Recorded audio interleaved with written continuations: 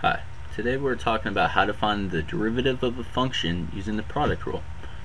Now this is the second video of the product rule and uh, as you remember we need to break this down into f and g. So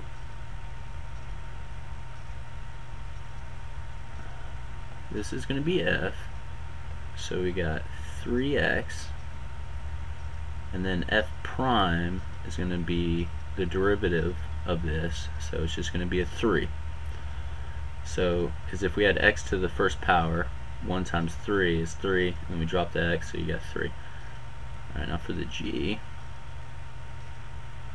it's going to be that whole thing.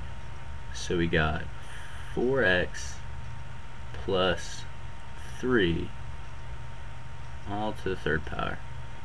Now we're going to use the the chain rule to find the derivative of this.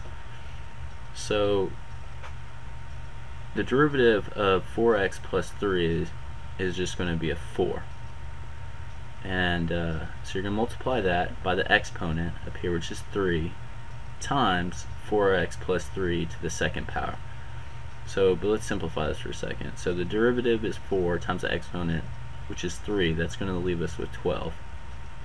Alright, and then we'll multiply that by 4x plus 3 to the second power.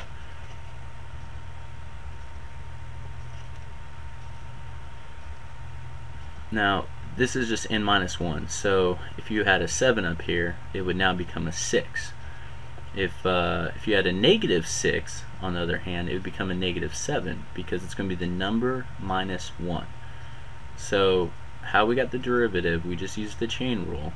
And that says you take the exponent, so it'd be a 3, times the derivative of what's inside. So 4x plus 3, the derivative is just the 4. So you take that 3 times the 4 times this whole thing and drop the exponent down 1. So you got 12 times 4 plus or 4x plus 3 to the second power. Now we're going to cross multiply so this is the first step. So we're going to take 3 times 4x plus 3 all to the third power. And the second step is to take, uh, I'm sorry, this is f prime. Sorry about that. Alright, so the second step is to take g prime times f. So you're going to cross multiply that. So we're going to get 3x times 12 is going to give us now with the product rule you're going to you're going to take f prime times g plus f times g prime whereas with the quotient rule we'd be subtracting so you get 36x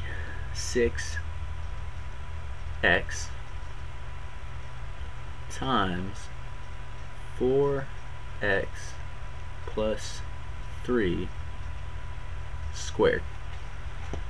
Now when you do this, uh, you could that could be the, that right there is the derivative of this function. However, we need to simplify it. So to do this, it can get a little bit hairy, but let's uh, make it real easy. And the way to do that is you see that this 4x plus 3 is the same over here as it is over here. So let's make u equal 4x plus 3. Alright, so we're going to rewrite that, and uh, it's going to be 3 times u cubed plus 36x times u squared. Now, we can simplify this even further, and how we do that is we figure out what both of these have in common. So they both have, they're both divisible by u squared, right? And uh, this one, this, uh, they're both divisible by 3. So we're going to take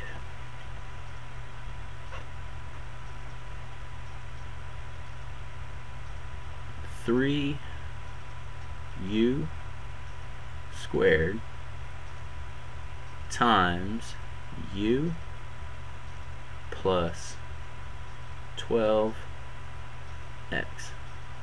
So this equals that. Okay. And if you wanted to check it, we can check it real fast.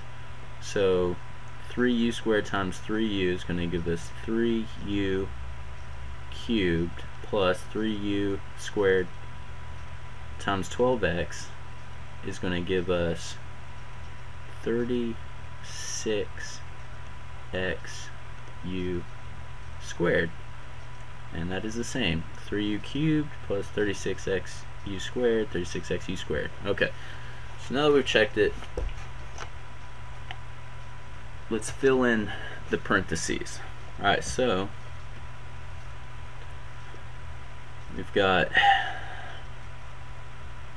3u squared and that u is 4x plus 3 so let's just put it in there. 4x plus 3 plus 12x and, that, and that's going to leave us with 16x plus 3 now let's put in this 4x plus 3 times 3 so you uh, know, finish that. 3u squared and that's going to give you 3 times 4x plus 3 squared times 16x plus 3 and that